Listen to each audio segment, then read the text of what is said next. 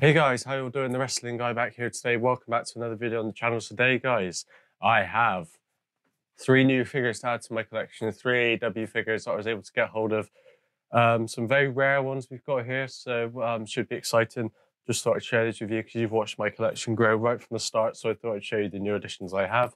Uh, so if you guys do go on to enjoy the video, hit the thumbs up button, subscribe, turn the notification bell on, um, and go check out some of my other videos on the channel. There's some great ones on there um, that I'm sure you guys will enjoy. So let's kick things off with this one because it's on its own.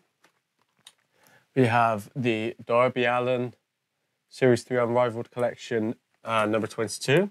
Brilliant figure, this one. Uh, obviously, with the entrance jacket, really, really nice designs on there. Uh, the head scan's pretty good as well with the face paint.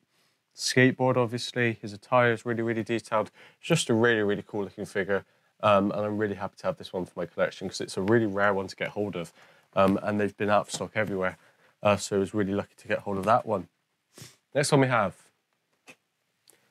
Nick Jackson of the Young Bucks, Series 3 Unrivaled Collection number 24. What a brilliant figure this one is.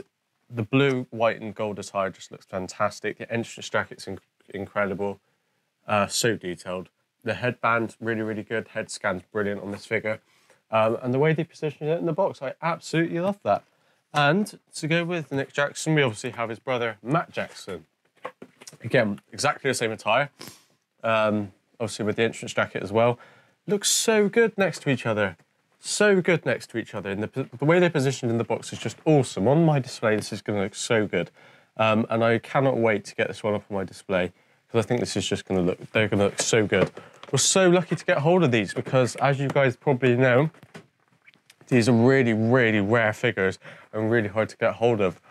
I got my three figures, in case you guys are wondering, from a company called Wrestling Shop.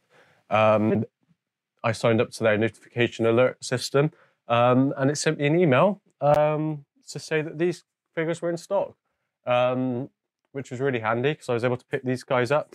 A lot of people are in saying, especially with the Young Bucks, um, you can get one, you can get the other, but you can't get them both at the same time. So a lot of people I know have got only the one figure out of the two, um, and they're trying to find the other one, but it's just out of stock everywhere. So I was super lucky to get hold of um, both of them at the same time, it's just fantastic. And I really, really um, cannot wait to get these ones on up on display for you guys um, and show you my full WWE figure collection because I think that's going to be fantastic to show you guys everything that I have.